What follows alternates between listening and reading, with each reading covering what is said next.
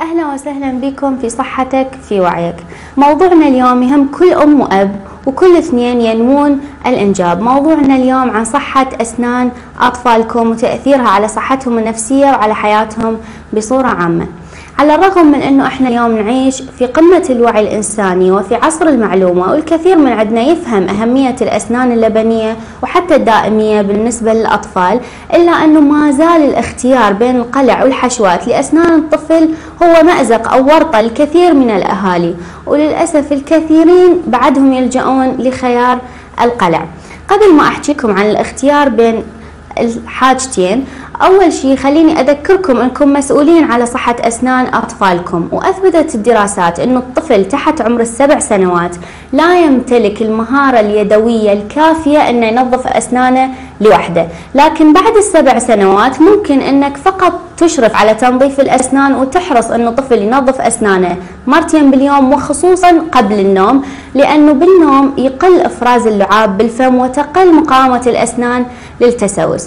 إذا كان الطفل عمره أكثر من ثلاث سنوات فراح تكونون أنتم مشرفين على عملية تنظيف الأسنان وتحرصون أنه كمية معجون الأسنان تكون بحجم حبة البزالية أما إذا كان عمره أقل من ثلاث سنوات فنص حبة بزالية وخليكم حريصين أنه ما يبلع معجون الأسنان أو ياكله.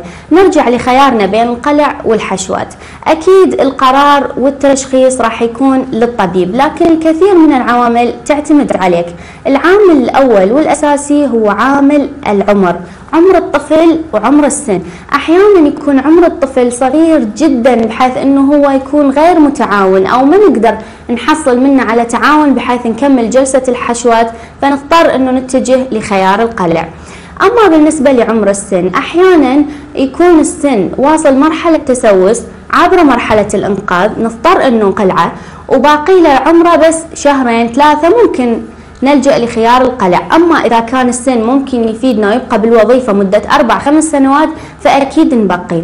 العامل الآخر هو عامل الألم وهذا أيضا يرجع للأهل. إذا انتظرت ابنك يوصل لمرحلة شديدة من الألم راح تحط الطبيب في مأزق كبير لأنه ما راح يكون عنده الوقت الكافي أنه يعالج هذا السن أو أنه يحصل على تعاون من هذا الطفل تدريجي. فيفضل أنك تزور طبيب الأسنان بمرحلة مبكرة.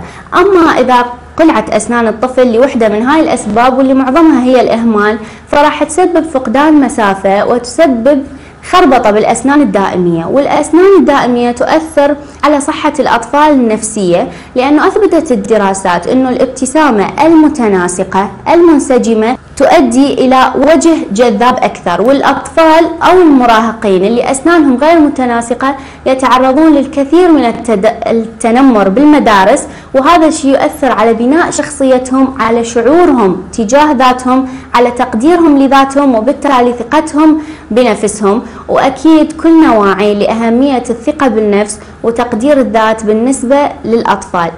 فإذا كنت تنوي أنك تنشئ شخص ناجح قادر أنه يختار ويقرر حياته. إذا كنت تنوي أنه ابنك ينشأ كإنسان بالغ يقدر يلقي شغل بهذه الحياة يتخذ قرارات لازم تحرص انه يكون عنده ثقة بنفسه وتقدير لذاته فلا تستهين بصحة أسنان الطفل.